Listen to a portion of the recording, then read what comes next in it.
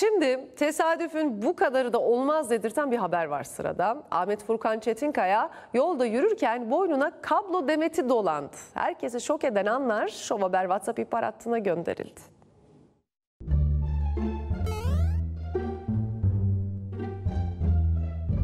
Üstüme bir anda bir baktım bir kablo düştü. İsteseler defalarca deneseler olmazdı. Düşen kablo demeti kolye gibi boynuna dolandı.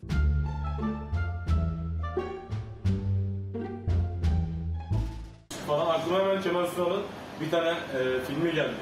Umudumuz Şaban diye. Aa, nasıl geçirdim ama?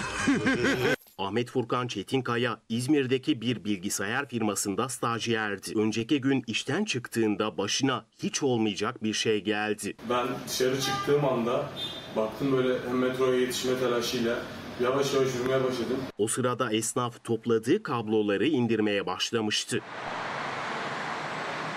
İlki sıyırdı ama 17 yaşındaki genç aceleyle geçerken bir rulo daha atıldı.